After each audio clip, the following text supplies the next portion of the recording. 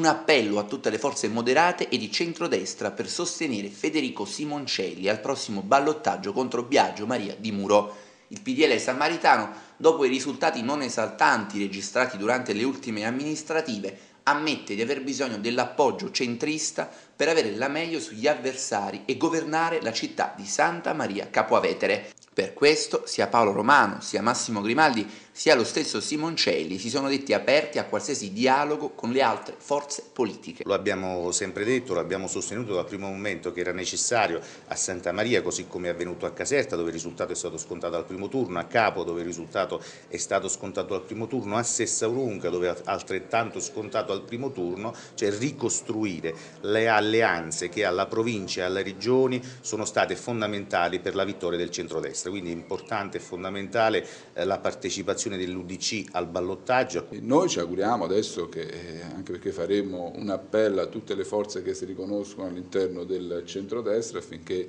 tutti insieme possiamo dare la svolta definitiva a Santa Maria Capoetere, ma mi sembra naturale che non essendo eh, verificato il fatto che l'Udc sia con noi e io la, la continuo, a, continuo, a, dire che è un'anomalia come un'anomalia anche, anche, a Napoli, questa anomalia adesso deve, adesso deve, essere superata. Se ciò non dovesse accadere, e io non credo che non avvenga, sicuramente, non avvenga, sicuramente penso che si aprirebbero scenari politici completamente diversi poi anche nel territorio provinciale. Questa fase di ballottaggio dovrà caratterizzarci per cogliere e soprattutto per captare l'attenzione di coloro che non sono stati con noi in prima battuta. Se eh, i nostri programmi hanno degli spunti interessanti, se le cose che vogliamo fare